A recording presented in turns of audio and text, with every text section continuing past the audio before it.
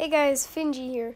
So um today I'm showing you these black um not blacklight plushies, the Twisted One plushies. They're actually really cool and shout out to Gavin Family Vlogs cuz they're the one who like actually did it or like made the video. So yeah, these things are official and they look lit and they're coming out. So yeah, that that that's it. I'm buying them all. Another thing about these plushies is that they're going back to the original style, but still mixing things up. Like you can see with the fox, it's like there's a muzzle, and like with Freddy, there's like it. It just looks awesome, and the horse looks awesome too, and it's it's it's just amazing. Thanks for watching, guys, and bye.